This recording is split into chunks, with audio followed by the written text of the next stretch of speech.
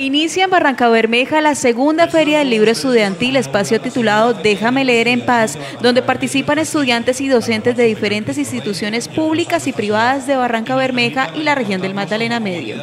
Pues a mí esto me parece chévere porque a la gente que le gusta leer pues puede desarrollar su inteligencia en algunos libros. Solamente lo que he visto por allá, que es sobre los planetas y hay un árbol de libros que no sé para qué está ahí, si solamente uno puede pero pues sí aporta al cultural esto porque es muy creativo para los niños que quieren aprender y a los que les encanta la literatura. Fuimos a una de allá y nos estaban explicando lo de la guerra, lo de que los presidentes hablaban con la guerrilla para un acuerdo de paz y eso me gustó mucho porque nos estuvieron explicando muchas como para que nosotros entendiéramos desde pequeños y, y, supiéramos qué es la guerrilla y eso. Y me ha parecido muy chévere para los niños que quieren aprender a leer y que todos podríamos aprender más sobre la literatura y tener más conocimiento sobre todo lo que ha pasado.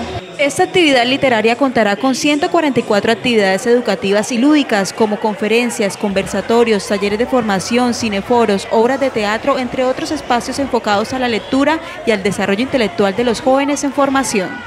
Pues esto estimula, digamos, que vean el libro como un amigo, que se acerquen a la lectura, que entiendan que son seres creativos, que ellos también pueden ser escritores o pueden ser eh, cualquiera de las eh, gamas del arte, pueden ser personas creativas y más adelante construir ellos sus propias historias o ser creadores en cuanto a la ciencia, ingenieros, pero siempre pensando en crear.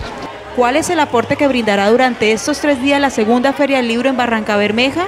Sí, realmente es una apuesta que estamos haciendo para mejorar los niveles de lectura en la ciudad, ¿no? De comprensión lectora, obviamente, ¿no? Por eso hemos traído los propios escritores para que interactúen con los chicos y entiendan que el libro realmente no es cosa del otro mundo, ¿no? que ellos también pueden ser escritores y entender los que escriben esas personas.